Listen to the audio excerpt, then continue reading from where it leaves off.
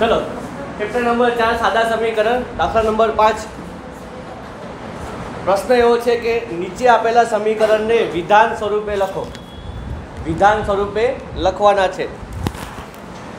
આપણે આગળ ભણેલા. તો યાદ કરાવો તમને. એક્સ વત્તા પાંચ બરાબર સાત. વિધાન સ્વરૂપે લખો. તો શું લખતા આપણે? કે એક્સમાં પાંચ ઉમેરતા સાત મળે. આને વિધાન સ્વરૂપે કહેવાય.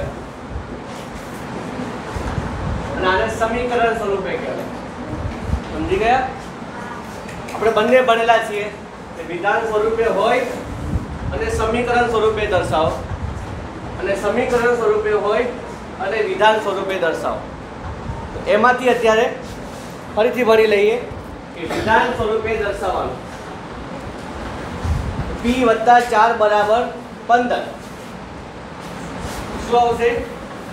પી વત્તા ચાર બરાબર પંદર. તો પી માં ચાર ઉમેરતા પંદર મળે. પી માં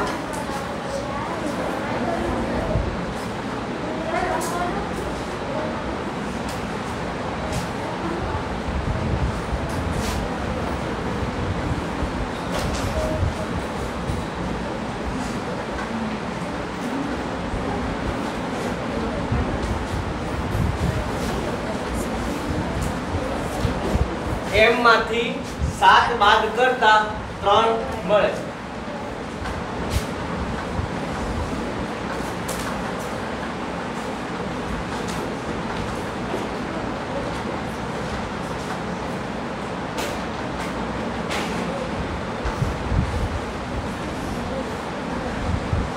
એમના બે ગણા બરાબર સાત થાય અથવા સાત મળે.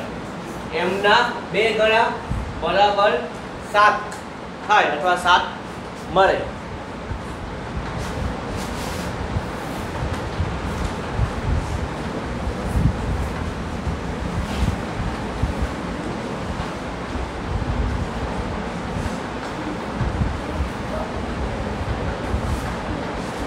એમનો પાંચમો ભાગ. એમનો પાંચમો ભાગ. બરાબર ત્રણ થાય અથવા એમનો પાંચમો ભાગ ત્રણ થાય. એમનો પાંચમો ભાગ બરાબર ત્રણ થાય અથવા મળે. એમનો પાંચમો ભાગ બરાબર ત્રણ મળે.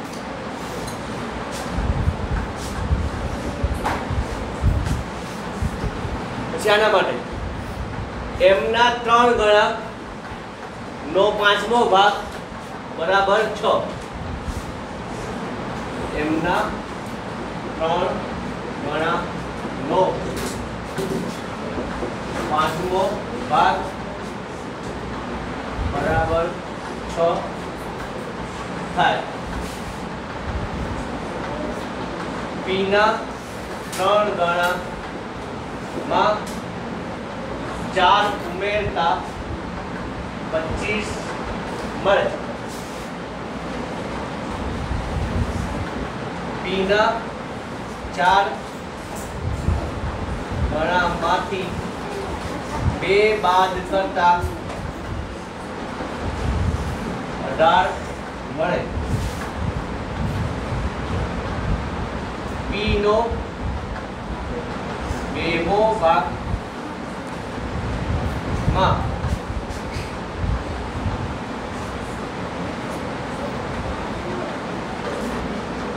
બે ઉમેરતા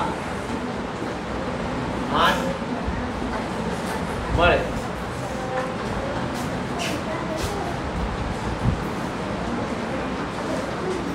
પ્રશ્ન નંબર છ, પહેલું, તો પરમિત પાસેની લખોટી એમ ધારો. પ્રશ્નમાં લખેલું છે કે પરમિત પાસેની લખોટી બરાબર એમ. ધારો કે પરમિત પાસેની લખોટી બરાબર એમ છે.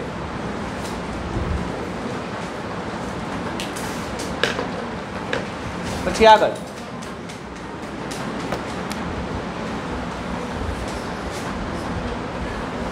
સમીકરણ શું બને? ઇરફાનની લખોટી. લખતા નહીં અત્યારે. બરાબર. પરમિટની લખોટી. ના, પાંચ ગણા. સાત ઉમેરતા. લખતા નહીં સમજો ખાલી. સમીકરણ આ રીતનું બને. ઇરફાનની લખોટી કેટલી છે? કે પરમિટની લખોટી ની પાંચ ગણા.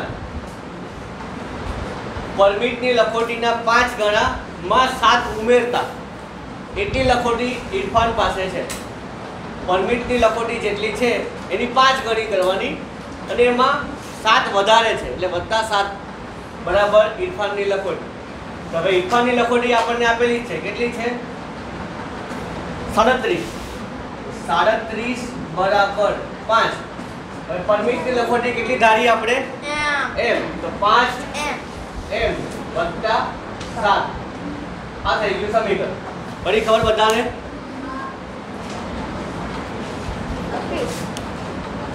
લખો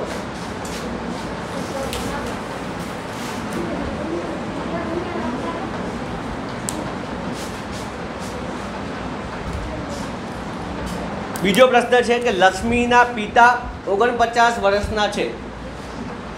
લક્ષ્મીની ઉંમરના ત્રણ ગણા. આપણે આ રીતે બનાવી દઈએ. પેલા લક્ષ્મીની ઉંમર કેટલી આપી છે? નથી આપેલી. ઓકે, ધારો કે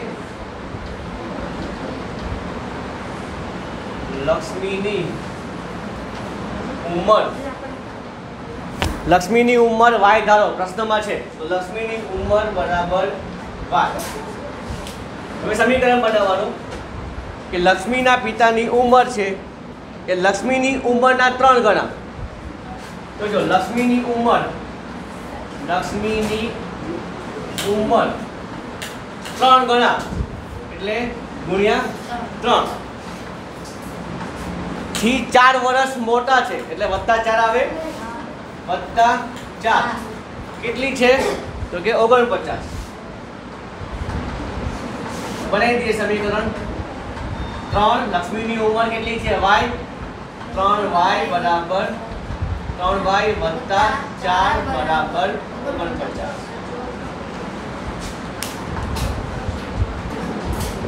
ત્રીજો દાખલો હવે શિક્ષકે વર્ગમાં કહ્યું કે સૌથી વધારે ગુણ મેળવનાર વિદ્યાર્થીના ગુણ. વર્ગના સૌથી ઓછા ગુણ મેળવનાર વિદ્યાર્થીના ગુણ. ના બે ગણાથી સાત વધારે છે. સૌથી વધારે ગુણ સત્યાસી છે. અને સૌથી ઓછા ગુણને એલ ધારવાના છે. ધારો કે ધારો કે સૌથી ઓછા ગુણ બરાબર એલ સૌથી ઓછા ગુણ બરાબર એલ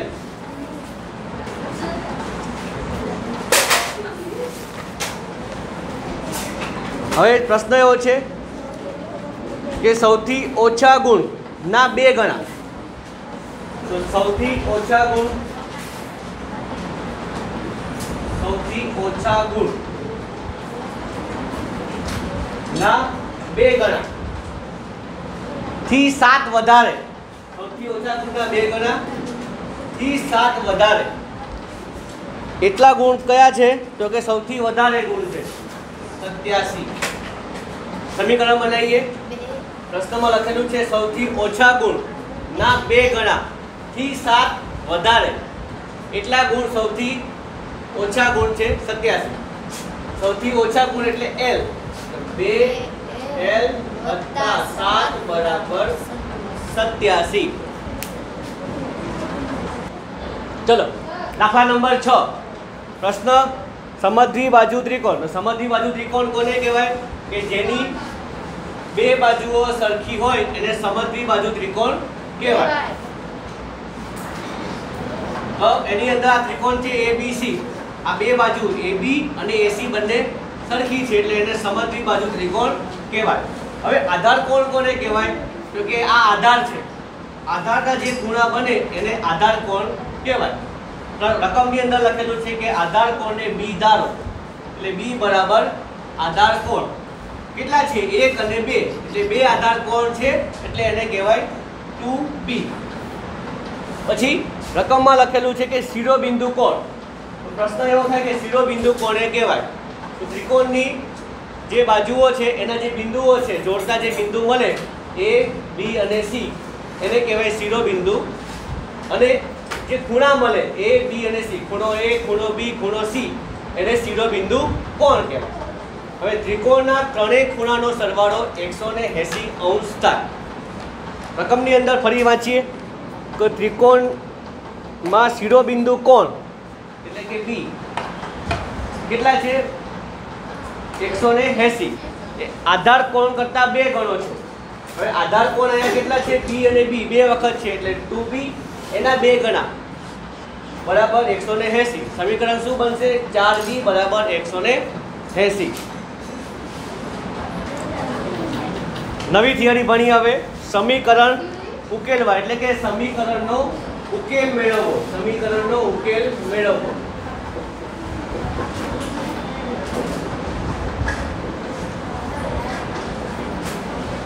આગળ જે દાખલા ભણ્યા આપણે, એની અંદર એક સમીકરણ આપેલું હતું. તો આ સમીકરણને આપણે વિધાન સ્વરૂપે ખાલી લખવાનું હતું. એનું વિધાન શું થાય?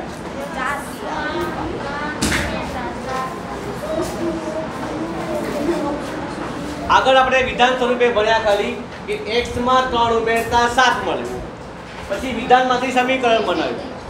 હવે આપણે આ સમીકરણ જે છે, એનો ઉકેલ શું થાય? એટલે કે એની અંદર x આપેલું હોય, અથવા p હોય, અથવા y હોય, અથવા z હોય, આ બધા જે છે એને ચલ કહેવામાં આવે. આ ચલની કિંમત શોધવાની. આ ચલની કિંમત શોધવાની. એટલે સમીકરણને ઉકેલવા એમ કહેવાય. સમજી ગયા?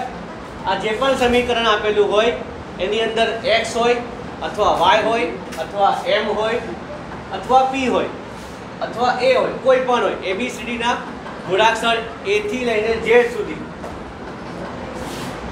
કોઈ બી મૂળાક્ષર હોય, એને તમારે ચલ કહેવાય. જેની કિંમત બદલાતી રહે એટલે એને ચલ કહેવાય. એની કિંમત શોધવી એટલે સમીકરણના ઉકેલ મેળવવાના. આપણે દાખલો સમજીએ. ઉદાહરણ તરીકે, પ્રશ્ન એવો છે કે એક વત્તા ત્રણ બરાબર આઠ. ઉકેલ. X વત્તા ત્રણ બરાબર આઠ. તો પ્રથમ પગલું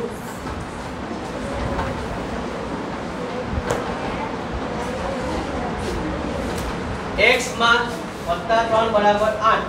તો બંને બાજુ ત્રણ બાદ કરતા. બંને બાજુથી ત્રણ બાદ કરતા. X વત્તા ત્રણ બરાબર આઠ.